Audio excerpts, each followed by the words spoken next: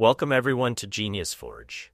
In this video, I'm going to show you how to install MySQL Server along with MySQL Workbench. For the MySQL Server, you just need to open your favorite browser and type MySQL download in the search bar. Then hit enter. This will show you a link to MySQL downloads. Click on that, and it'll take you to the official MySQL website. Once you're there, scroll down until you find the MySQL Community GPL Downloads section and click on it. After that, you'll be redirected to the MySQL Community Downloads page. From here, click on MySQL Installer for Windows. It will take you to the page for the MySQL Community Download Windows Installer. I'll include this link in the video description so you can easily access it.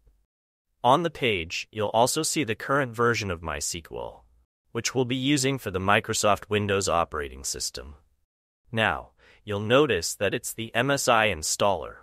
And when you get to this page, you'll see two options. One is a 2.1 megabytes file, and the other is a 303.6 megabytes file. I recommend downloading the larger one, which is the MySQL Installer Community version, not the web installer. So go ahead and click on the download link in front of the MySQL Installer Community version. Once you click on it, you'll be taken to another page where you'll see the option No thanks, just start my download. Click that, and your MySQL Server download will begin. You'll see that the download has started, so just wait a moment for it to complete. Once it's downloaded, I can simply click on the file right from the browser, as that's what I'll do here. Alternatively, you can go to your Downloads directory and double click the file to begin the installation process. You'll notice that it will ask for administrative privileges. Just click Yes and the installation will start. Let's close the browser now. It may prompt you for administrative privileges again, so just click Yes.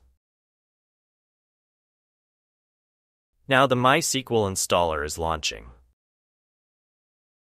Here you'll see some radio buttons. Select Custom Installation and click Next. Under Select Products, expand the MySQL Server section until you see MySQL Server 8.2.35. Click the arrow next to it to add it to the products to be installed. Next, expand Applications to find MySQL Workbench. This will provide you with a GUI interface, so select it and click the arrow to move it under the products to be installed. If you want to include MySQL Shell, you can do the same, but I'll be demonstrating everything in MySQL Workbench, so I won't add it for now. If you'd like a video on MySQL Shell, just let me know in the comments. For now, I'll select only MySQL Server and MySQL Workbench, then click Next.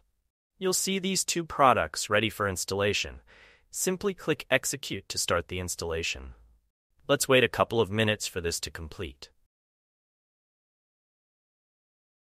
Now, you can see that the installation status for both MySQL Server and MySQL Workbench is complete. Click Next to proceed to the configuration. You'll be prompted with configuration options. Here, ensure that TCP IP is selected and note that the default port is 3306. This port is essential for communicating with your MySQL server, so remember it you can leave the default settings for the named pipe and shared memory. Click Next. You'll see an option to use a strong password. Go ahead and click Next. Enter your password and repeat it.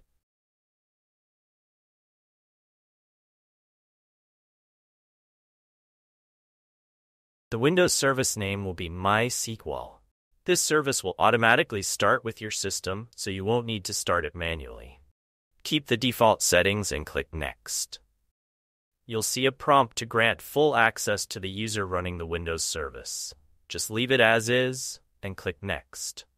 Now click Execute to start executing all the steps. It will initialize the database, which may take a little time, so let's wait for that. Welcome back. The configuration for MySQL Server 8.2235 was successful. You can click Finish here and then click Next. Now, ensure Start MySQL Workbench after setup is selected, and click Finish to launch MySQL Workbench. You'll see that MySQL Workbench is now open. So, let's click on the MySQL 80 local instance.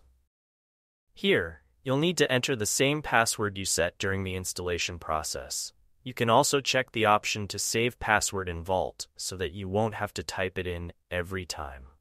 Once done, click OK, and it will launch MySQL Workbench. As you can see, MySQL Workbench is now open, and we have our query window ready. The first thing we'll do is create a database. In the query window, I'll type create database my database